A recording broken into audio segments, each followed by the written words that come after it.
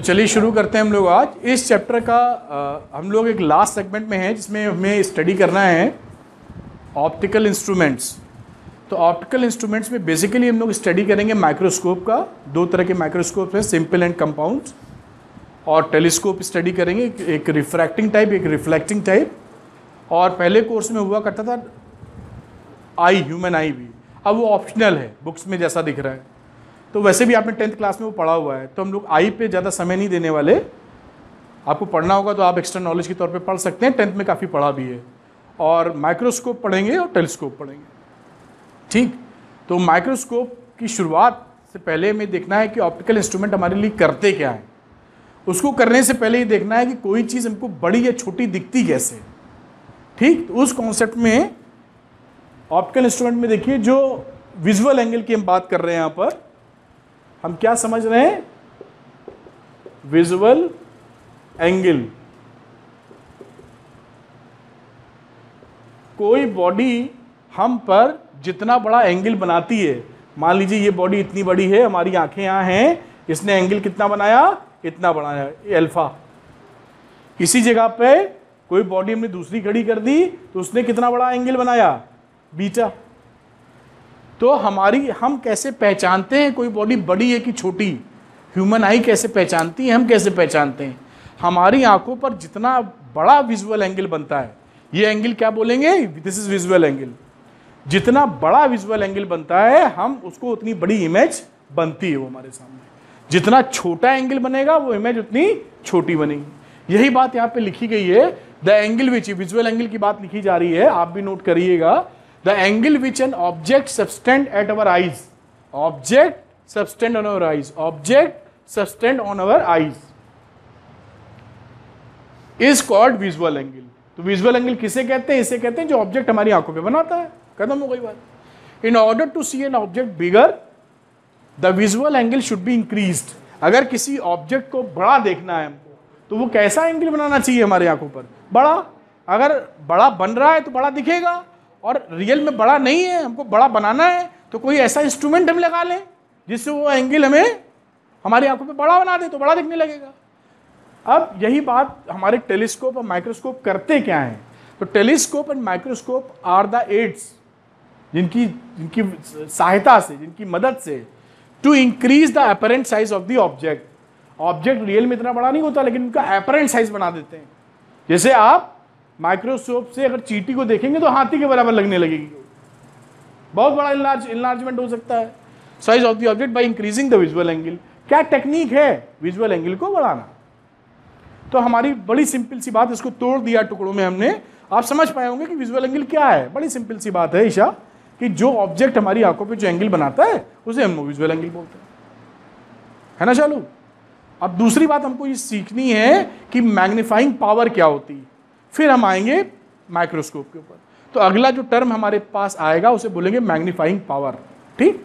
Magnifying power linear वाली आपने पढ़ रखी है वी अपॉन यू वही वाली है। उसको थोड़ा और समझेंगे, इस टेक्निक से क्या बोलते हैं, इस टेक्निक से कैसे निकाल सकते हैं।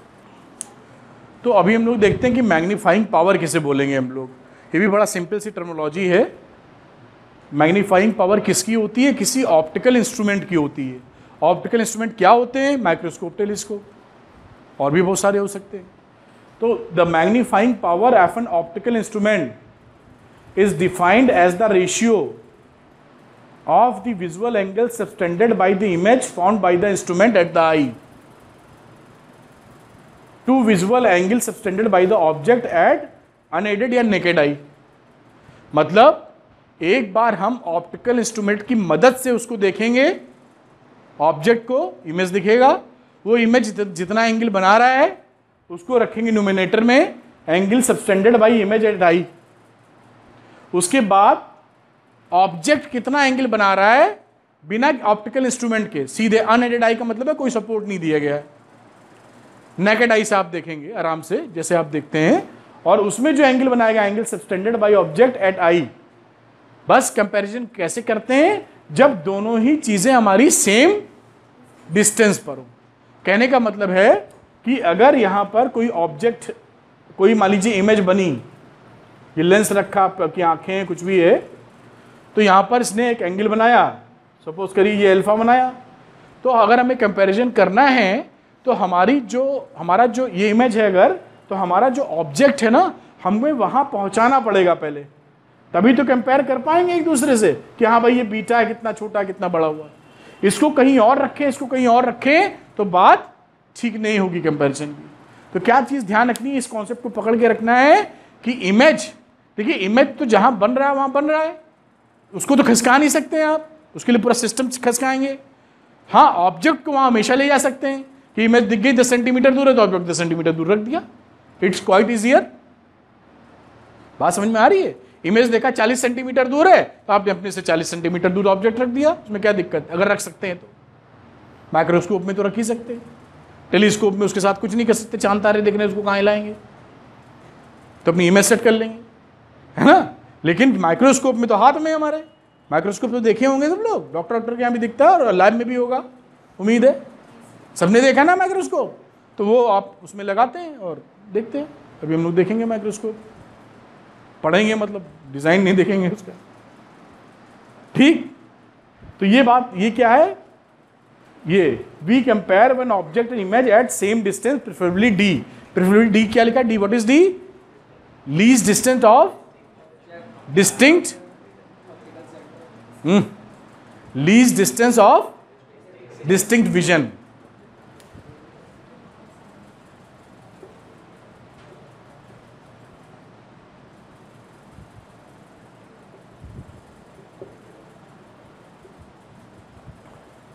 हमारी आँखों की कैपेसिटी है ना?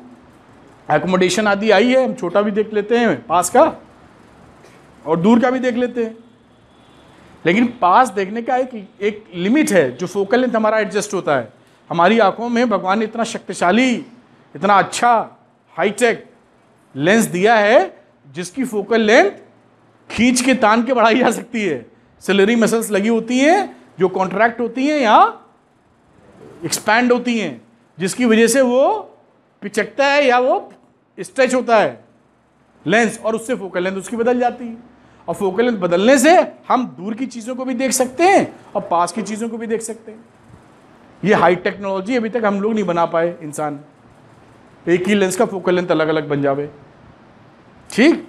तो इस लेंस का लेकिन कैपेसिटी है, कितना कॉन्ट्रैक्शन किया जाए तो आप देखते हैं कि 25 सेंटीमीटर तक जब आप आते हैं, जिसे कैपिटल डी बोलते हैं, जब 25 सेंटीमीटर तक आते हैं तो तो आपको दो चीज़ें साफ़ साफ़ दिखाई पड़ती हैं। डिस्टिंक्ट लीस्ट डिस्टेंस कम से कम डिस्टेंस डिस्टिंक्ट विजन के लिए। लेकिन अगर उससे ज़्यादा करीब आते हैं तो ब्लरिंग स्टार्ट हो जाती है। साफ़ नहीं दिखती चीज़ें। और ज़्यादा ले आएँगे पास में तो एकदम ब्लरिंग हो जाएगी, क्योंकि हमारी कैपेसिटी नहीं है वहाँ तक देख पाने की। हमारी आँखों की कैपेसिटी नहीं है कि हम नाक के पास उंगली रखें और साफ़ साफ़ देख लें। अगर कोई देख पा रहा है तो इमीडिएटली डॉक्टर से कंसल्ट करें। अगर आपको लगता है कि अब मैं कहीं भी देख लेता हूँ तो तुरंत रात को डॉक्टर से मिल लीजिए जाके। आप नॉर्मल ह्यूमन बींग नहीं हैं। एनी anyway, वापस हम आते हैं मज़ाक कर रहे थे वो। कुछ लोग सुपर ह्यूमन हो सकते हैं हो सकता है आप में से भी कोई हो। तो वापस आते हैं हम लोग मैग्नीफाइंग पावर की तरफ़। तो कैपिटल डी समझे ना 25 सेंटीमीटर नॉर्मली होता है डिस्टिंक्ट विजन के लिए। तो ये मैग्नीफाइंग पावर है। क्या है मैग्नीफाइंग पावर एक ऑप्टिकल इंस्ट्रूमेंट से विजुअल एंगल जो बना डिवाइडेड बाई बिना उस ऑप्टिकल ऑप्टिकल इंस्ट्रूमेंट के जो एंगल बना एट सेम डिस्टेंस डिवाइड कर दीजिए। आ गया मैग्नीफाइंग पावर ये वही मैग्नीफाइंग पावर है वी अपन यू वाली आई अपन हाइट हाइट वाली, वही सब है। लेकिन इसको निकालने का तरीका इस तरीके से ऑप्टिकल इंस्ट्रूमेंट कितना मैग्निफिकेशन बनेगा आपको दिखेगा। ठीक? अब हम लोग चलते हैं सिंपल माइक्रोस्कोप की तरफ़। तो अभी तक दो बातें हम लोग पढ़ चुके हैं। एक तो विजुअल एंगल और मैग्नीफाइंग पावर क्योंकि तो बेसिकली हमें कराना क्या है? हमें तो मैग्नीफाई ही कराना है। माइक्रोस्कोप लगाते क्यों? मैग्निफिकेशन के लिए ना। बड़ी देखनी रहती चीज़ें। क्यों बड़ी देखनी? क्योंकि उसका डिटेल देखना है हमको। हम नेकेड आई से नहीं देख सकते वो डिटेल है ना चालू पहले इतनी बात को समझते हैं, फिर इसको हटा के दोबारा गाड़ी चलाएँगे आगे। तो बड़ी बेसिक बात है लिखा हमने, इसलिए दे रहा हूँ कि आप तीन महीने बाद भी पन्ना पढ़ते तो आपको कन्फ्यूज़न ना रहे। ये इसी डायग्राम को एक्सप्लेन कर रहा है ये। इन ए सिंपल माइक्रोस्कोप जो सिंपल माइक्रोस्कोप होता है, वो शॉर्ट फोकस का कॉन्वेक्स लेंस होता है। जो कॉन्वेक्स लेंस होता है ना सिंपल एक कॉन्वेक्स लेंस को ही हम बोलते हैं सिंपल माइक्रोस्कोप। उसकी फोकल लेंथ कम होती। ये तो बात समझ गए आप, सिंपल सी बात। The position of the object between the lens ये देखिए, ये एक लेंस है। सिंपल माइक्रोस्कोप वाला, ये आपकी आँखें हैं, और आँखें लेंस के, इसमें तो दूर लग रही हैं, आप पास में ही रखते हैं आँखों को, है ना? और इसकी जो फोकल लेंथ है, इस फोकल लेंथ और लेंस के बीच में ऑब्जेक्ट को प्लेस किया गया है। शॉर्ट फोकल लेंस रहती, पास में ऑब्जेक्ट रखते हैं। इस ऑब्जेक्ट का magnified image A dash B dash बनता है। और ये बनता कितनी दूर बनाते हैं हम लोग? कैपिटल डी पर। Least distance for distinct vision जिससे में साफ़ साफ़ दिखाई पड़े, बढ़िया दिखाई पड़े। ठीक? इसी बात को एक्सप्लेन किया है। The position of the object ये ऑब्जेक्ट है A B between B W मतलब between the lens and its focus the lens and its focus इन दोनों के बीच में है। इज़ सो एडजस्टेड इस तरह से एडजस्ट करते हैं that the image is formed at the least distance of distinct vision इस तरह से एडजस्टमेंट करेंगे कि इमेज जो मिलेगी ए डैश बी डैश वो कहाँ मिलेगी? कैपिटल डी पर मिले। उसको आगे पीछे कर लेंगे लेंस को अपने हिसाब से। From the eye the image is then seen most distinctively क्यों कर रहे हैं? क्योंकि साफ़ साफ़ इमेज देखना चाहते हैं। इन फिगर ए ये फिगर ए है, ये फिगर बी है। A B is a small object वो छोटा वाला जो रखा हुआ दिख रहा है, वो ए बी एक स्मॉल ऑब्जेक्ट है, जिसको आपको बड़ा करके देखना चाहते हैं आप। Placed between a lens L and its first focus F dash दिख रहा है? वो बात समझी थी हम लोगों ने। It's magnified virtual image A dash B dash इसकी जो मैग्निफाइड वर्चुअल इमेज है ए डैश बी डैश वो आपको बनती हुई कहाँ से दिख रही है? At a distance D from the lens वो लेंस से कहाँ पर है? कैपिटल डी पर. चाहे लेंस से बोले, चाहे हमने ये एरो यहाँ तक बनाया चाहे आई से बोले, क्योंकि लेंस और आई एक ही जगह है। पास से देख रहे हैं ना? कोई फ़र्क नहीं है। वही बात लिख दी गई है since the eye is just behind the lens आँखें लेंस के एकदम पीछे हैं। The distance of image A dash B dash from eye is also D तो चाहे लेंस तक की दूरी माने, चाहे आँखों तक की दूरी माने, दोनों के केसेस में ये कैपिटल दी आएगा। तो इतनी बात आप समझिए, इसको नोट कर लीजिए, फिर हम आगे बात लिख के आपको एक्सप्लेन करेंगे। अब हम क्या करेंगे, इसकी मैग्नीफाइंग पावर निकालेंगे। ये तो इसका एक इंट्रोडक्शन हो गया, एक बात हो गई कि किस तरह से ये डायग्राम बना हुआ है। अब हम क्या कैलकुलेट करने जा रहे हैं? मैग्नीफाइंग पावर तो ये कॉपी कर चुके हैं आप? अच्छा कर लीजिए पहले आराम से। तो देखिए अभी जिस पर्पस के लिए हमारे पास सिंपल माइक्रोस्कोप है, उसका पर्पस क्या था? चीज़ों को मैग्नीफाई करना। तो आखिर कितना मैग्नीफिकेशन करता है हमारे लिए? ये कैलकुलेशन करने जा रहे हैं हम लोग। तो मैग्नीफाइंग पावर क्या हुई? जो भी पढ़ी थी let beta be the angle subtended by the image A dash B dash A dash B dash ने हमारी आँखों पर कितना एंगल बनाया? बीटा आँखें लेंस के जस्ट पीछे हैं, इसलिए लेंस पर एंगल बने या या हमारी आँखों पे एंगल बने वो एंगल कितना होगा? सेम तो इसने एंगल बनाया बीटा कहा लिखा हुआ? Beta is the angle subtended at the eye figure A first A A and alpha is the angle subtended by the object AB at the eye figure B. इसमें देखिए हमने object लिया और object को कहाँ रखा? ये डी डिस्टेंस दूर था हमारा इमेज तो हमने डी डिस्टेंस दूर ही रखा ऑब्जेक्ट को. और फिर देखा ये कितना एंगल बना रहा है? तो ये कितना एंगल बना रहा है? एल्फा बिना किसी ऑप्टिकल इंस्ट्रूमेंट के नेकेड आई से अनएडेड आई से। बात समझ में आती है? ये दोनों एंगल हमारे पास में आ गए। तो हमारे पास अगर ये आ गए तो मैग्निफिकेशन या मैग्नीफाइंग पावर क्या बना? वही चीज़ लिख दी है angle subtended by image at eye upon angle subtended by object at eye when placed at D इस केस के लिए। तो यहाँ पर बीटा अपॉन अल्फ़ा हो गया ये। यही तो वैल्यू पड़ी है।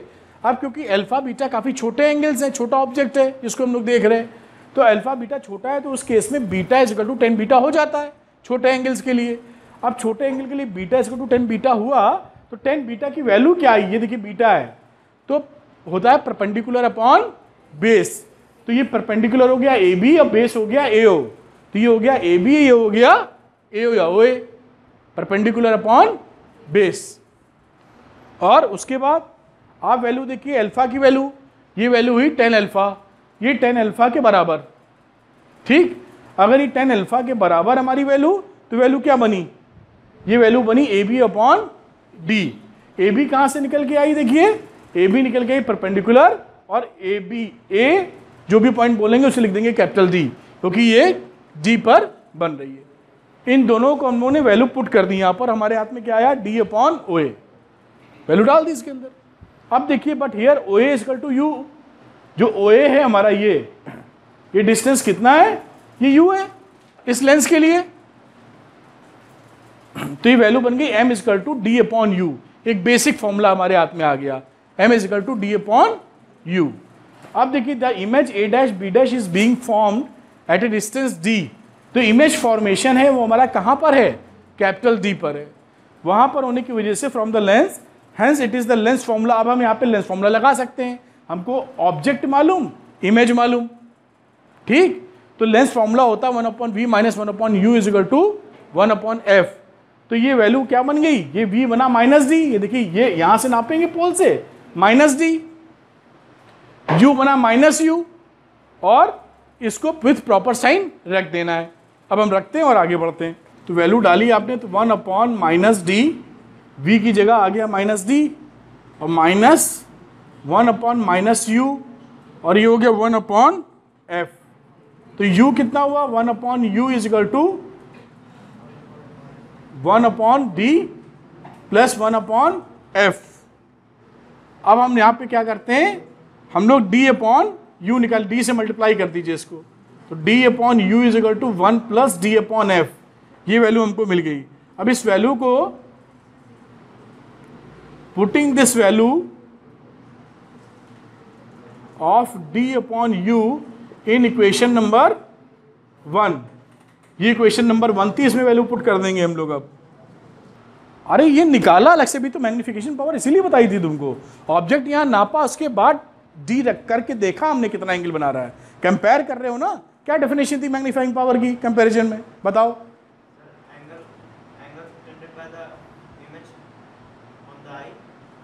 आगे।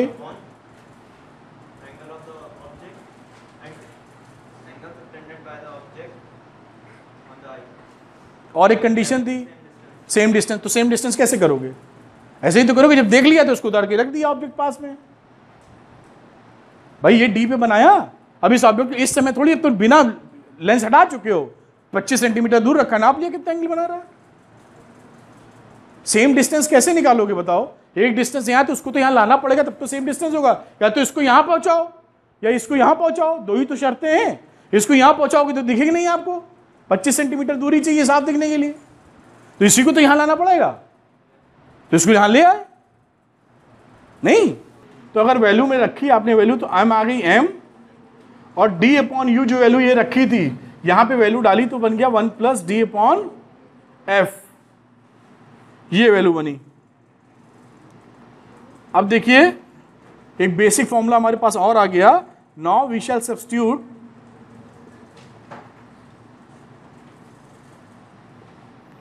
only the numerical value value of d and f. Thus, m is positive erect image इसमें जो वैल्यू मिलेगी, हम न्यूमेरिक वैल्यू डाल देंगे, जिससे हमारी एम हमेशा पॉजिटिव मिले। क्यों? क्योंकि इरेक्ट इमेज बन रहा है। अब देखिए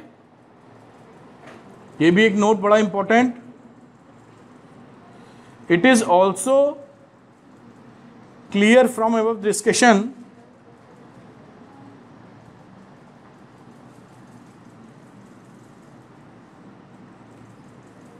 that shorter the focal length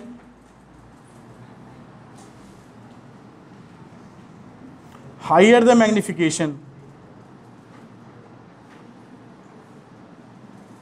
देखिए, अगर आपसे पूछा जाता है क्वेश्चन कि इसमें मैग्नि इसमें एफ़ की वैल्यू शॉर्टर क्यों ली जाती है?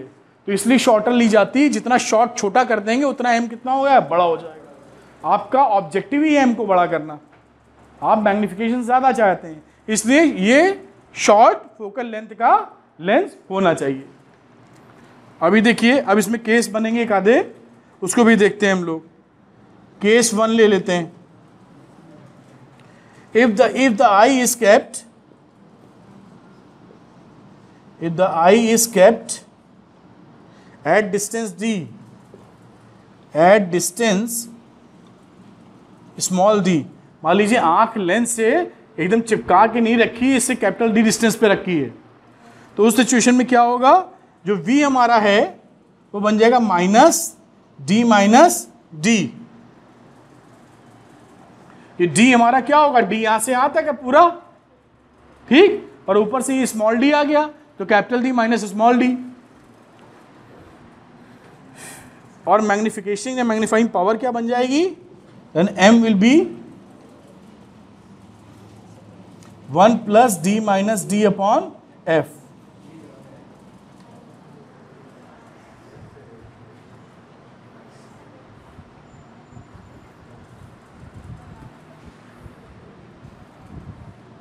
तो एक केस तो ये बना।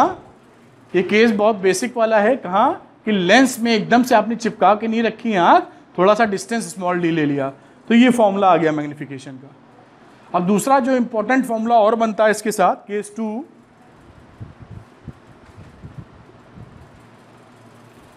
to see with relaxed eye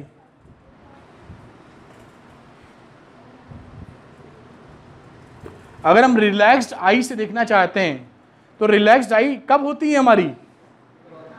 जब ऑब्जेक्ट हाँ जब कोई चीज़ हम इन्फिनिटी पे देखते हैं तो हमारी आँखों पर स्ट्रेन एकदम नहीं पड़ता है। है ना? तो हम, अगर इमेज हम बना दें, कहाँ है? इन्फिनिटी पे तो रिलैक्स आई मिल जाएगी हमको। उसके लिए क्या सिचुएशन बनेगा देखिए। The image A dash B dash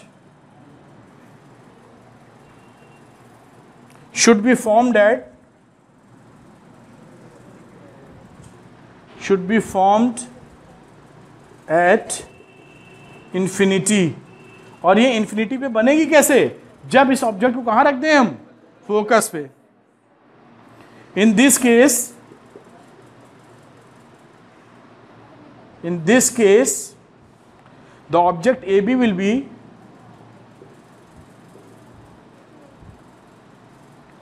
will be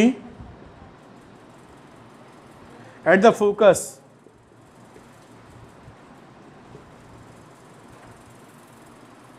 यानी u इज़ इक्वल टू क्या हो गया? F. ये u बन गया f. उस केस में हमारा फॉर्मूला क्या बन जाएगा? पहला equation d is equal D upon U था तो d अपॉन f आ गया। ये फॉर्मूला बन गया रिलैक्स्ड आई के लिए। क्या एप्लीकेशन हैं इसके? सिंपल माइक्रोस्कोप के।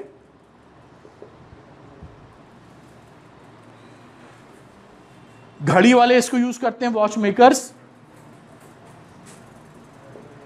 आपने देखा होगा, जब बनवाने के भी घड़ी गए होंगे, आँखों में फिट कर लेता है वो ऐसे करके, और फिर बनाता है। देखा आपने? नहीं देखा? नहीं देखा? तो घड़ी पहनना शुरू कीजिए। फिर खराब होगी, फिर आप जाएँगे। तो वॉच मेकर्स यूज़ करते हैं क्योंकि वॉच के अंदर रिस्ट वॉच वगैरह में और घड़ियों में बहुत छोटे छोटे टाइनी पार्ट्स होते हैं। वो ऐसे नहीं देखे जा सकते, उनको बड़ा करना पड़ेगा। इसलिए वो यूज़ करते हैं और देख के बनाते हैं। ज्वेलरी शॉप पे जाइए आप, ज्वेलर्स के यहाँ। यहाँ पे कुछ लोग ज़रूर गए होंगे।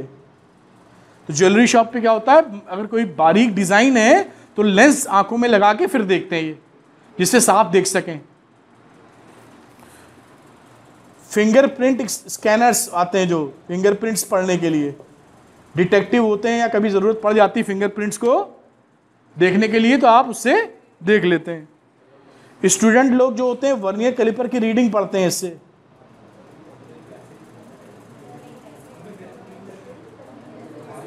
बहुत अगर फाइन है तो लेंस लगा के साफ़ तौर पे रीडिंग देख लेते हैं। आपने ऐसे पढ़ ली तो बड़ा अच्छा किया है।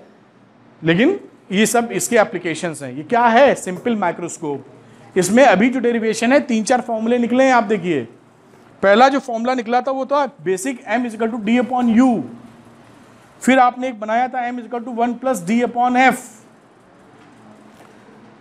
फिर रिलैक्स डाई के लिए निकला एम इसका टू डी अपॉन एफ़ और एक डी डिस्टेंस वाले के लिए निकला, जिसमें आया one plus D minus D upon F तो ये सिंपल माइक्रोस्कोप की पूरी कहानी होती है।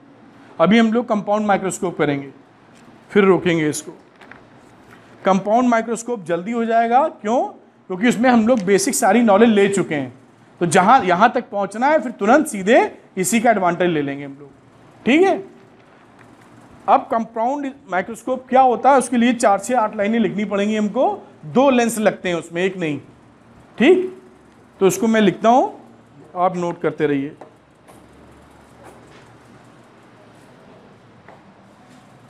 इसमें किसी को कोई डिस्कशन में कोई पॉइंट लेना है? समझ में आई बात? ये देखिए ये कंपाउंड माइक्रोस्कोप का फिगर है अभी हम आपको एक्सप्लेन भी कर देते हैं। और इसी एक्सप्लेनेशन को ये लिखा हुआ है। इसमें देखिए it consist of two convergent lens system इस कंपाउंड माइक्रोस्कोप में दो लेंस होते हैं ठीक? ओ और ई e, एक है ओ देखिए ये लेंस है और दूसरा लेंस ई e, ये वाला है आपके पास। ये ई e और ये ओ ये लिखा भी हुआ है। ये एक स्लाइडिंग ट्यूब ट्यूब में फिट होते हैं ट्यूब होती है, इसमें फिट होते हैं। जो आउटर ट्यूब होती है, उसमें लगा होता है आपका ऑब्जेक्टिव लेंस ऑब्जेक्टिव जो लेंस होता है, ये जो चीज़ हमको देखनी होती है ऑब्जेक्टिव ऑब्जेक्ट की तरफ़ फोकस रहता है। जो भी चीज़ हमको देखनी है, इसके सामने रखेंगे तो इसको बोलते हैं ऑब्जेक्टिव लेंस इसका अपर्चर छोटा होता है। इसमें लिखा भी होगा as the lens focus the object it has short focal length and short aperture short focal length का मतलब आप जानते हैं कि कर्वेचर इसका ज़्यादा। बिल्कुल ठीक कह रहे हैं। और अपर्चर का अपर्चर किसे बोलते हैं? इसके डायमीटर को। है ना? तो उसका अपर्चर भी कम। तो ऑब्जेक्टिव लेंस हमारा कैसा होगा? शॉर्ट फोकल लेंथ और इसका अपर्चर भी कम। और क्योंकि ये हमेशा ऑब्जेक्ट की तरफ़ फोकस रहेगा, इसलिए इसका नाम डाला गया ऑब्जेक्टिव लेंस दूसरा जो लेंस रहता है हमारा आई पीस वो इसके कंपैरिजन में इसका अपर्चर और फोकल लेंथ थोड़ी ज़्यादा होती है। बहुत ज़्यादा नहीं होती, लेकिन इसके कंपैरिजन में ज़्यादा होती है। इसलिए आपको दिखाई पड़ रहा है थोड़ा बड़ा बनाया मैंने। किताबों में भी बड़ा ही बना रहता है। तो इसका अपर्चर बड़ा है और फोकल लेंथ इसकी क्या इसकी इतनी छोटी है, इसकी इससे बड़ी। ठीक है? और ये आपका जो लगा होता है, ये इनर ट्यूब में फिट होता है। ट्यूब होगी ना एक, अंदर चलेगी एक बाहर। तो बाहर वाली ट्यूब में लगा रहेगा आपका ऑब्जेक्टिव और इनर ट्यूब में लगा रहेगा आई पीस आई पीस क्यों बोलते हैं? क्योंकि इससे आप देखते हैं। आपके करीब होता है, आँख लगा के देखते हैं ना इसमें तो ये आई पीस कहलाता है। और आँखें इसके बाजू में आपकी आँखें रहेंगी, जिससे आप देखेंगे। इसमें क्या हो रहा है, ये आपको समझाते हैं। फिर हमारा काम बेसिकली तो ये इंट्रोडक्शन है डिस्क्रिप्शन है। हमें मेनली क्या चीज़ चाहिए डिस्क्रिप्शन के बाद? मैग्नीफाइंग पावर ठीक? तो इसमें हो क्या रहा है? ये ऑब्जेक्टिव है। इसके सामने एक हमने, हम लोगों ने एक ऑब्जेक्ट को प्लेस कर दिया है ए बी उस ऑब्जेक्ट का एक इमेज बनता है हमारा ए डैश बी डैश जो कि इस फोकल लेंथ के अंदर है इस समय। अगर अंदर है तो आपको मालूम है कि इसकी इनलार्ज इमेज बनाएगा ये। है ना? और ये इसने क्या किया? इसकी इनलार्ज इमेज बना दी, जो कि A double dash B double dash है। और ये इतना छोटा था और इतना बड़ा हमें दिखने लगा।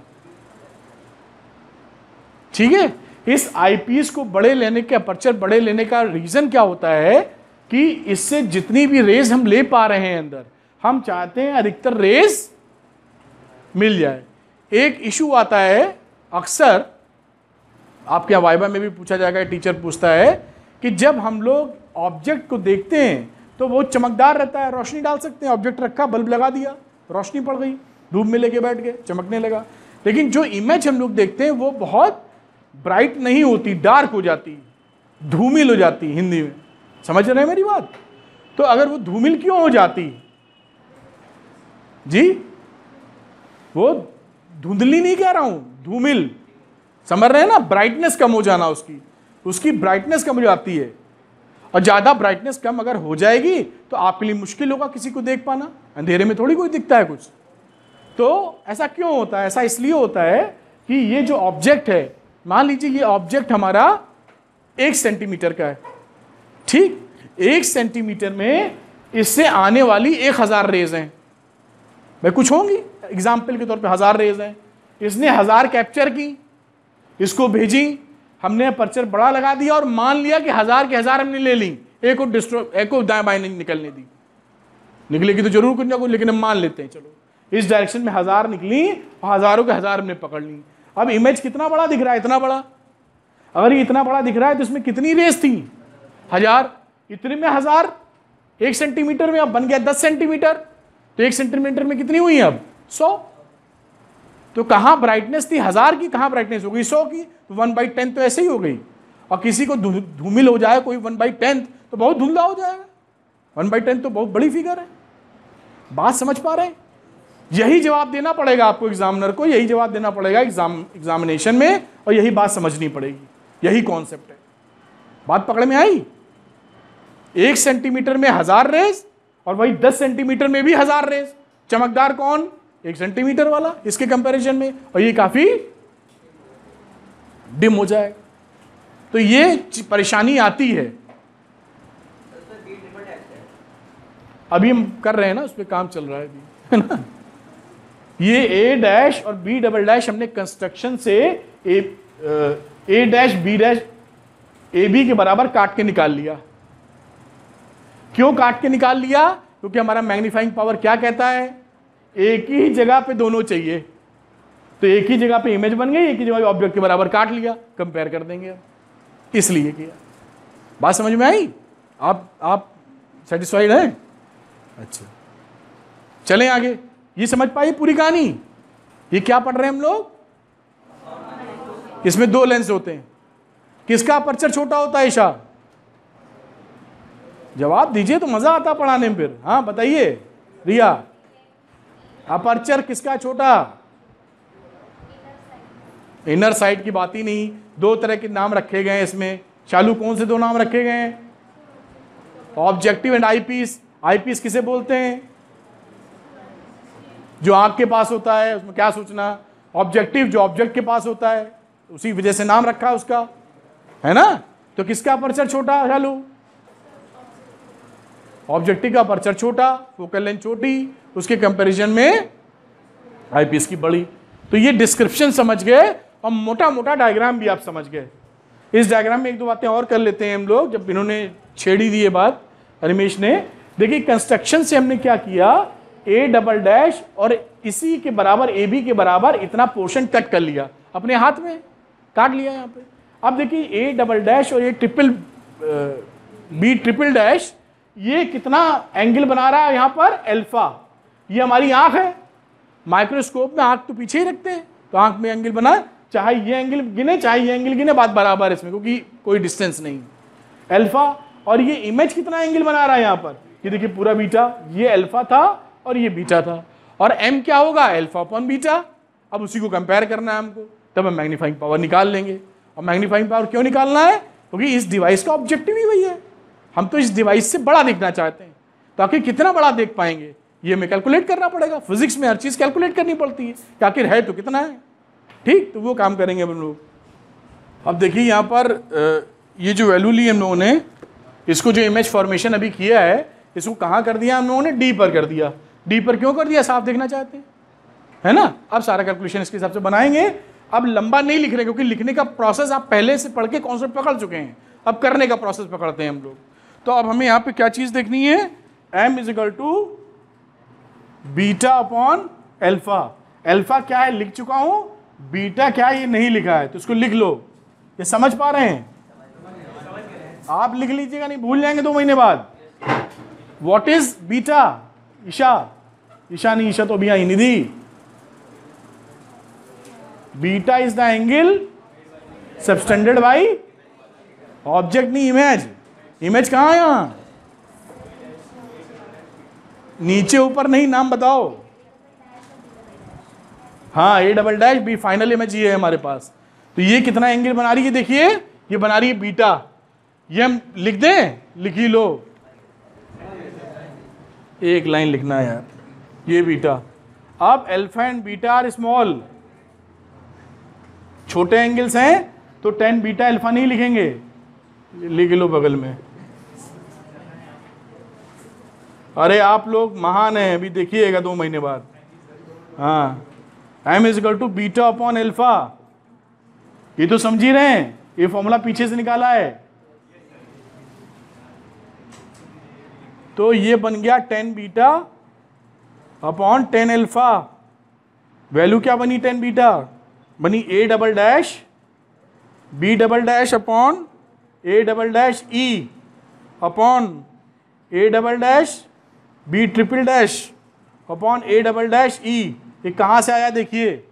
टेन बीटा टेन बीटा में लिखा A double dash B double dash A double dash B double dash perpendicular upon base तो ए डबल डैश ई ये बेस हो गया। तो परपेंडिकुलर अपॉन बेस हो गया। टेन एल्फा टेन एल्फा में आ गई ये एंगल तो perpendicular is the double dash B triple dash upon A double dash E ये बन गया एंगल का एल्फा अब इन दोनों में देखिए, ऊपर नीचे A double dash B double dash common है। अगर कॉमन है तो वैल्यू क्या बन गई? A double dash B double dash ये ए डबल डैश ई कटा यहाँ पर। ये वैल्यू निकल के हमारे सामने आएगी। अब देखिए आगे but A double dash B triple dash हमारे किसके बराबर है? ए बी के बराबर है। बाई कंस्ट्रक्शन कट किया था आपने ये। है ना? A double dash B triple dash A B के बराबर कट किया है। तो वैल्यू रख दीजिए यहाँ पर। एम क्या बना? एम बना A double dash B double dash upon A B अब इसको हमने कैसे लिख लिया? इसको ऐसे लिख लिया A double dash B double dash A dash B dash into A dash B dash upon A B और ये देखिए, ये क्या बन गया? ये बन गया magnification power of eye piece into magnification power of objective lens ये एक बड़ा इंपॉर्टेंट रिलेशन हाथ लगा। ये एम ई क्या है? A double dash B dash upon A dash B dash ठीक? देखो, समझ में आ रहा है या नहीं आ रहा है? तो ये M E into M O हो गया। एम ई एम ई का मतलब magnification magnifying power of eye piece और magnifying power of objective lens तो M is equal to M E into M O ये रिलेशन स्टेब्लिश हुआ। ये क्या लिखा है? इसको मैं लिख नहीं रहा हूँ। Magnification power of eye piece magnification power of objective lens अब आगे देखिए for ammo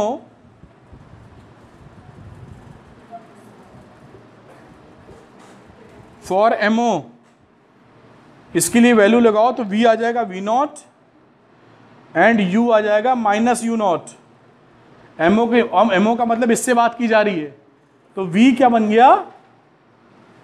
we not we not का मतलब क्या है? दिस वन यहाँ से लेके यहाँ तक का वी नॉट और ये बन गया यू यू नॉट इधर वाला माइनस इधर वाला प्लस तो एम नॉट कितना हुआ?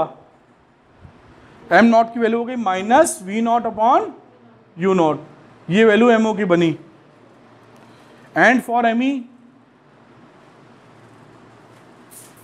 M E के लिए क्या बना? एम ई के लिए अब हम कैलकुलेट नहीं करेंगे। एम ई के लिए पिछले सवाल में कैलकुलेट किया है। One plus D upon F E. ये कहाँ से लेके आए? From previous derivation. अभी जो सिंपल आईपीसी तो था वहाँ पर। सिंपल माइक्रोस्कोप में। तो एम ई की वैल्यू निकली थी one plus D upon F E. ये वैल्यू यहाँ से ले ली। अब हमारा कैपिटल एम क्या बना? कैपिटल एम की जगह अब हम लोग MO की वैल्यू यहाँ रख देंगे और एम ई की वैल्यू यहाँ रख देंगे क्वेश्चन नंबर वन में। तो ये वैल्यू बन गई minus V O upon U O one plus D upon F E ये हमारा फाइनल फार्मूला निकला कंपाउंड माइक्रोस्कोप का। और लेंथ ऑफ़ द ट्यूब क्या आएगी? ट्यूब में लगाए ना। तो लेंथ ऑफ़ द ट्यूब ये न्यूमेरिकल इस पर बनते हैं, इसलिए समझना ज़रूरी है। लेंथ ऑफ़ द ट्यूब का मतलब है इसके इसके बीच का डिस्टेंस वो डिस्टेंस कितना बनेगा? वो बनेगा वी नॉट जहाँ पर ये बन रहा है प्लस ये distance that is U E plus modulus sign में यू ई मतलब without sign. Length of the tube हो गई। पूरी पूरी यही तो ट्यूब बनेगी। किनारे किनारे लगाएँगे। अब इसमें दो छोटे छोटे केसेस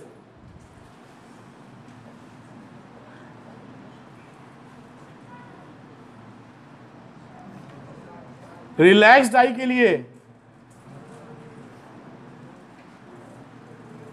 ये बहुत ही सरल केस है निमेश रिलैक्स डाई के लिए क्या होना चाहिए? हाँ M S two D upon F E पढ़ा था लास्ट में। पिछले वाले प्रूफ में रिलैक्स डाई का डी ओपन एफ़ ई निकाला था, यहाँ पर रख दो। तो एम क्या बना? Minus V O upon U O D upon F E ये रिलैक्स डाई के लिए आ गया। लेंथ ऑफ़ द ट्यूब क्या है यहाँ पर? वीओ और ये कहाँ बनेगा? एफ़ पर। तो V O plus F E length of the tube बन गई। रिलैक्स टाइम में क्या होगा? ये इमेज कहाँ बनना चाहिए? एफ़ ई पर। तो ये V O plus F E Priyanshu, ठीक है कि नहीं? क्या कहाँ से आ गया वी ये वी नहीं आएगा, ये वी नॉट कौन कह रहा है कहाँ से आ गया? ये वी नॉट यहाँ से आया बेटा लेंथ ऑफ़ द ट्यूब निकाल रहे हैं आप। रिलैक्स डाई के लिए ये इमेज कहाँ बननी चाहिए? फोकस पर। तो ये प्लस फोकस जोड़ोगे, तब तो आएगा लेंथ ऑफ़ द ट्यूब नहीं? एक और अंतिम फॉर्मूला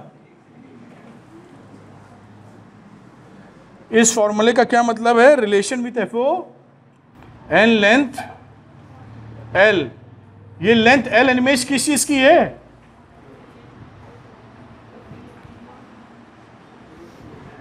ध्यान से पढ़िए, अकेले में पढ़ेंगे मुश्किल जाएगी। ये एल क्या है? लेंथ ऑफ़ ट्यूब ट्यूब का मतलब दोनों सिरे पर लेंस लगे हुए हैं। तो यहाँ पे देखिए यूओ क्या हो जाएगा? करीबन एफ़ हो जाएगा, ले सकते हैं। मोटे तौर पर वीओ ले सकते हैं एल के। ये छोटे छोटे हैं तो यूओ को करीबन ले लिया एफओ और इस वीओ को ले लिया समझने के लिए एल अप्रोक्सीमेटली तो ये फॉर्मूला क्या बन जाता है हमारे पास? M is equal to V O upon U O D upon F E खैर, ये फॉर्मूला इस्टेब्लिश किए ये रिलैक्स डाई के लिए। ये था ही हमारे पास। और अंत में फॉर्मूला आया, इस फॉर्मूले से वी ओ की जगह रख दिया हमने एल एफ़ ओ की जगह रख दिया एफ़ ओ और डी अपॉन एफ़ ई तो ये देखिए फॉर हाइयर मैग्निफिकेशन ये देखिए एक इंपॉर्टेंट चीज़ निकलती है, जाते जाते इसको समझते जाइएगा। ये F O upon U D upon F E था माइनस साइन तो चलो उल्टा बनना, सीधा बनना उसके लिए। यहाँ पर अप्रोक्सीमेटली यू को एफ़ ओ मान लिया और वी ओ को एल मान लिया। उस सिचुएशन में वी ओ की जगह रख दिया एल और यू की जगह रख दिया एफ़ ओ तो ये रिलेशन बन गया हमारा। इस रिलेशन में फ़ायदा क्या होता है कि हमें सब कुछ पता होता है। जो लेंस लगाया, उसकी फोकल लेंथ पता है, डी पता है कहाँ पे चाहिए इमेज, और लेंथ ऑफ़ ट्यूब हमारे हाथ में। तो इससे अगर मैग्निफिकेशन को हमें बड़ा करना है तो क्या बात समझ में आती है? एफ़ वन एफ़ क्या होने चाहिए? छोटे। ये क्वेश्चन आपका पूछा जाएगा कि इसका फोकल लेंथ छोटा क्यों रखते हैं? बड़ा क्यों नहीं ले लेते? तो जवाब है, मैग्निफिकेशन तभी बड़ा मिलेगा। और उसका यहाँ पे दिखाई पड़ रही है बात। और लेंथ ऑफ़ द ट्यूब कितनी लेनी है? बड़ी। लेकिन बड़ी लेने में कितनी बड़ी ले लें? तो लिमिट है उससे बड़ी नहीं लेते हम लोग। अरे, जितनी हो सके मतलब माइक्रोस्कोप लेके बैठोगे तो सीढ़ी लगा के बैठोगे क्या? ना? कितनी बड़ी ट्यूब ले लोगे? बड़ी ट्यूब एक लिमिट में होनी चाहिए, टेबल के ऊपर रख के देखेंगे। इसके भी कई किस्से हैं, अभी नहीं बताएँगे, आज टाइम ज़्यादा हो रहा है आपका। हाँ। ये तो ये, यहाँ पर ये बात खत्म हो जाती है। ये क्या है? माइक्रोस्कोप की पूरी कहानी। इसके बाद सेकेंड पोर्शन बचेगा टेलीस्कोप का। तो टेलीस्कोप भी हमें नेक्स्ट टर्न पर करना होगा। जाने से पहले पाँच मिनट में हमें यह बता दीजिए, पढ़ाई क्या क्या की चीज़ की हुई है आज? हाँ निरुपमा कहाँ शुरू हुए थे? जी? ऑप्टिकल इंस्ट्रूमेंट क्या होते हैं? हाँ।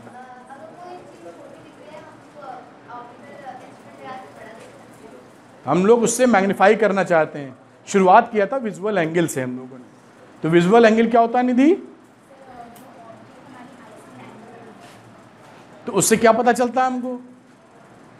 एंगल बनाता है विजुअल एंगल बन गया। अब क्या पता चला? दुर्गेश बता देगा। एंगल बड़ा, हम कैसे पहचानते हैं? हमार, हमारी आँखें कैसे पहचानती हैं कि कोई छोटा है, बड़ा है, लंबा है, बहुत बड़ा है?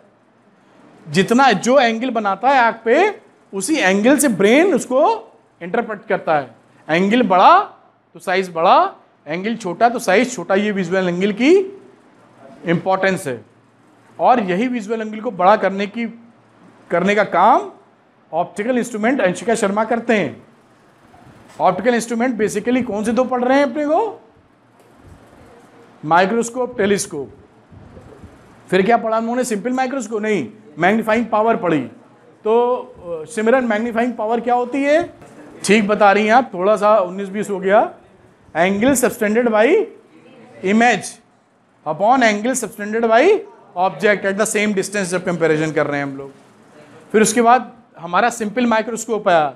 सिंपल माइक्रोस्कोप में एक ही लेंस होता है, जिसका अपर्चर छोटा होता है। ठीक? और उसके मैग्नीफाइंग पावर और पे हम लोगों ने काम किया और देखा दो तीन फॉर्मूले निकल के आए थे। फॉर्मूला प्रियांशु क्या था? M E is to one plus D upon F E या एफ़ कह लीजिए? आईपीसी है वो। डी जानते हैं क्या होता है? Least distance for distinct vision F E मतलब focal length of I piece और रिलैक्स आई के लिए जब आया था तो शालू क्या आया था? रिलैक्स आई के लिए नहीं था। सोनम क्या था? डी अपॉन एफ़ ई या डी अपॉन एफ़ था रिलैक्स आई के लिए। रिलैक्स आई का मतलब क्या होता है, जानवी? जल्दी बताइए। रिलैक्स आई कब होती है आपकी? आँखों पे एकदम स्ट्रेन ना पड़े, कब होता है ऐसा? जब ऑब्जेक्ट इंफिनिटी में होता है। तब आँखों पे कोई स्ट्रेन नहीं पड़ता रिलैक्स आई होती है। जितने पास की चीज़ आप देखेंगे, उतने ही हाँ। और क्या पढ़ा इसके बाद? ये फॉर्मूले बता दिए आपने। फिर कंपाउंड माइक्रोस्कोप पढ़ा। कंपाउंड माइक्रोस्कोप में आकाश मौर्य कितने लेंस होते हैं? उन दो लेंसों का नाम क्या होता है? ऑब्जेक्टिव आई पीस अंश का ऑब्जेक्टिव किसे बोलते हैं? उसकी फोकल लेंथ कम होती है कि ज़्यादा? कम। क्यों? कम होती है सही कह रही हैं लेकिन क्यों कम होती है? क्योंकि ज़्यादा मैग्निफिकेशन तभी मिल पाएगा हमने फॉर्मूला निकाल के चेक कर लिया है सब। ठीक है? ये देखिए कम करेंगे तभी बढ़ेगा। आ, उसके बाद मैग्नीफाइंग पावर देखा और फॉर्मूला निकला फिर उसके बाद। तो रिद्धि, क्या फॉर्मूला निकला? M E into M O एक रिलेशनशिप इंपॉर्टेंट रिलेशनशिप आई। एम ई क्या होता है Riya? What is M E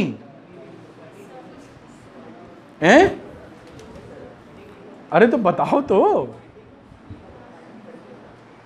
हाँ रिद्धि एम ई क्या होता है? मैग्निफिकेशन ऑफ़ आई पीस और M O magnification of objective lens M E into M A के बाद फॉर्मूला है निकला। क्या फॉर्मूला हाथ आया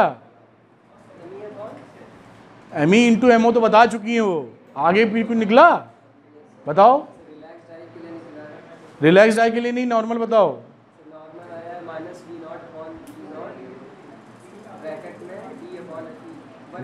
One plus D upon F E पुराना वाला कॉपी कर देना, और क्या? Minus V O upon U into one plus D upon F E है ना? उसके बाद क्या था? उसका रिलैक्स डाई के लिए था। अंश का रिलैक्स डाई के लिए क्या फॉर्मूला निकला? V O upon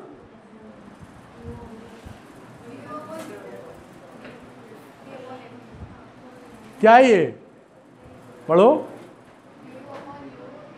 Minus V upon U D upon F E what is D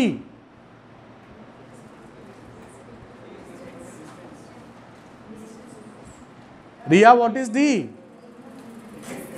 D क्या है? डिस्टेंस ऑफ़ ऑब्जेक्ट कहाँ है? अरे ध्यान दीजिए भाई। ईशा।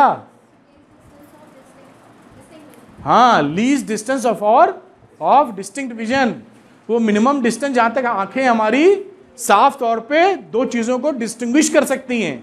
25 सेंटीमीटर होती है नॉर्मल ह्यूमन बींग के लिए। ये बिल्कुल बना के रखिए वरना कैसे होगा? ये इस पर अभी ये जो पढ़ा है, जो न्यूमेरिकल्स बनते हैं, एक तो आपकी किस्मत अच्छी होगी, सीधे बन जाए, और दूसरा इसके अंदर की बात कह देगा? ये वीओ इतना है यू इतना निकालो तो सब निकालेंगे, तब निकलेगा फिर। अगर पेपर में थोड़ा भारीपन आ गया, जो कि आएगा इस बार तो उसमें आपको सीधे फॉर्मूला बेस नहीं देगा फिर वो। समझ में आ रही है बात? यहाँ दे देगा फिगर यहाँ की। तो ये अगर पढ़े रहेंगे तो कर पाएँगे आप, इसीलिए आराम से लिखा भी रहे हैं, बता भी रहे हैं रिवाइज भी करा रहे और अगर उसको पहचानेंगे नहीं then then it will be difficult मज़ा नहीं आएगा आपको फिर।